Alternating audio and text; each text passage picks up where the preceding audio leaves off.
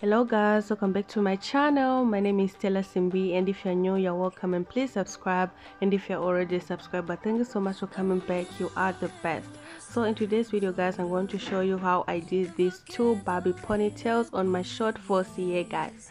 So let's get into the tutorial.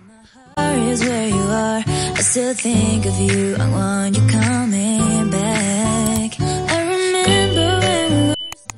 this hairstyle was uh, inspired by Nicki Minaj Barbie World hairstyle guys. I was in love with those ponytails. I was like, I have to do this. I have to do this. So I started off by sectioning my hair into two and then I'm going to be using Isoplus styling gel and Isoplus hairline and edge holding gel. So I'll be using both. So I'm starting off by applying the styling gel and then I'm going to uh, apply all over my hair uh, the back the front the sides everywhere and also apply it in the middle. Uh, and then I'm going to be using my bristle brush to brush my hair. And then after brushing the hair I'm going to tie with a scrunchie. Uh, and then I'll also apply the Isoplus because this gel was not that thick. It was not laying my hair like the way I wanted so that's why I used both this one and the Isoplus so right here. I'm just applying the isoplus with my uh, edge brush and then i'm going to tie the hair again. And after tying the hair i'm going to braid it down.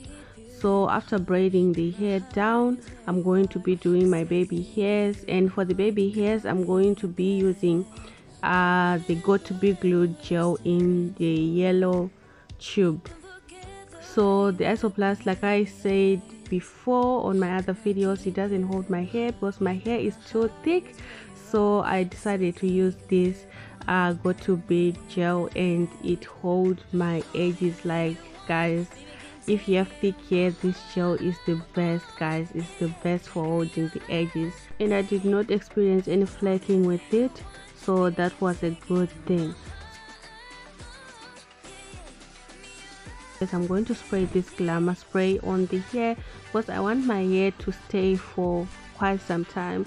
Uh, and the Isoplus gels I don't really trust them on my thick hair. So that's why I use glamour to make sure that everything is secure and stays in place.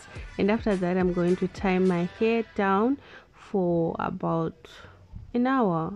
Yeah for about an hour. And then I'm going to remove uh, the scarf. If you can uh, leave it uh, like that for longer but I didn't have that time to wait that long. So that's why I did only an hour but you can leave it for longer so that your hair can dry completely but I didn't have that time. So I'm going to be using this Brazilian Acá Brazilian natural uh, and then I'm going to be using two bundles one on each side so i'm going to place my hair like that and then i'm going to take a bobby pin and then i'm going to secure the hair. I'm not going to glue it or sew it. I'm just going to be using bobby pins and it was secure guys. It was secure. It didn't go anywhere. It stayed in place. So i'm just going to wrap around the hair uh, until the end. Then i'm going to take uh, the extra at the end of the bundle i'm going to take a small portion of hair and then i'm going to wrap it around the ponytail like this section your hair and then wrap it around to cover the weft of the bundle. So after doing this i'm going to add more bobby pins to make sure that it is secure and it stays in place.